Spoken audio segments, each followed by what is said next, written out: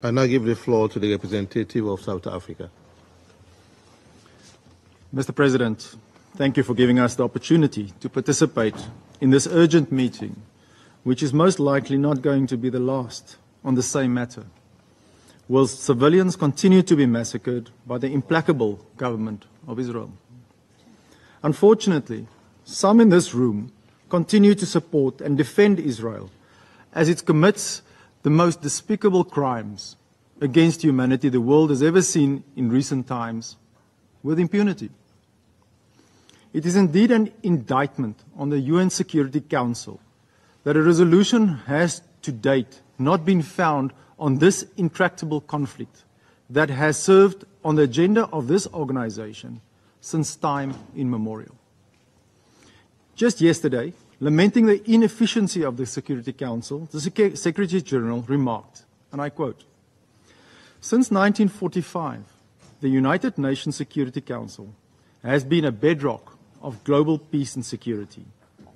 But the cracks in its foundations are becoming too large to ignore. They are contributing to deadlock, stalemate, and stagnation around today's most pressing crises. End of quote.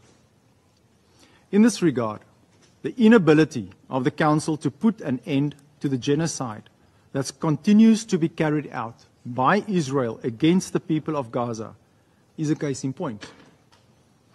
Mr. President, Israel's impunity and apparent political protection is not perceived, it's real. This impunity puts, in, puts to, into question the whole meaning of, and I quote, legally binding because this organization has adopted numerous resolutions since the formation of the United Nations that have been undermined by Israel for decades.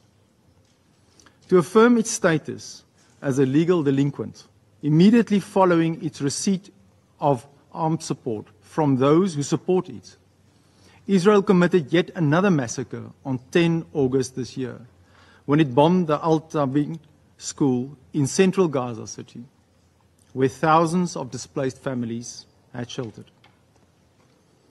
More than 100 Palestinian children, women, and men, and many, and many injured as a result. The assassination of a Hamas leader, Dr. Ismail Haniyeh, in Tehran last month, and the continuous targeting of civilians in Gaza will likely further compound the situation in an already volatile region. We hope that the investigation into his assassination will soon be concluded and call on all parties to exercise the utmost restraint and avoid any acts that would escalate tensions in an already fragile region. Mr. President, as an avid believer of the rule of law, in December last year, South Africa approached the International Court of Justice, seeking an order to prevent Israel from committing genocide against the Palestinian people. Israel defied the court's order and launched an offensive in Rafah. Once again, South Africa put its trust in the global court system and sought additional provisional measures to prevent Israel's persistent acts of genocide against the Palestinian people in Gaza.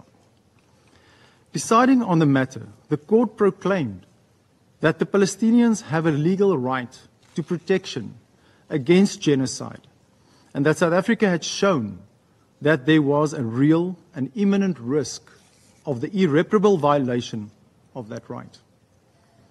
This also fell on deaf ears. In addition to the evidence presented at the ICJ, South Africa submitted to the Security Council a body of evidence in support of its argument that Israel is committing genocide in Gaza. This document was circulated as S/2024/419, and we encourage all members, all member states, to study the document and acquaint themselves of its content.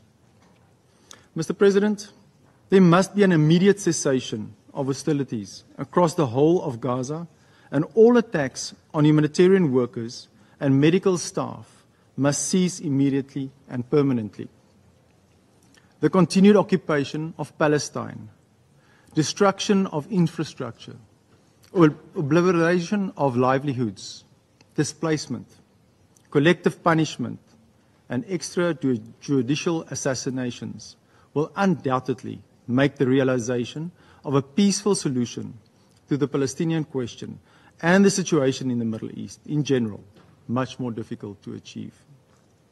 We reiterate that the international community cannot proclaim the importance of international law, including the respect for the UN Charter in some situations, but not in others.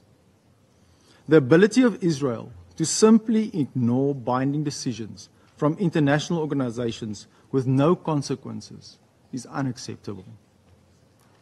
The Council must immediately ensure respect for its resolutions in line with its mandate if it's to successfully mend, and I quote, the cracks in its foundation, uh, end quotes, and avert a situation where these cracks become too large to ignore.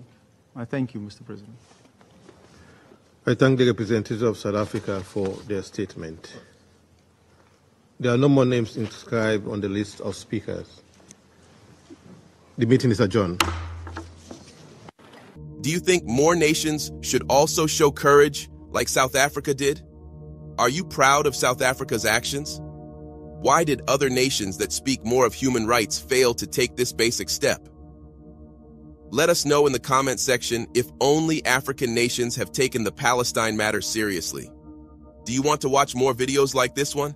If yes, subscribe to our channel and press the bell icon next to it. We have decided to bring videos on something nobody talks about, African politics, economy, and increasing power.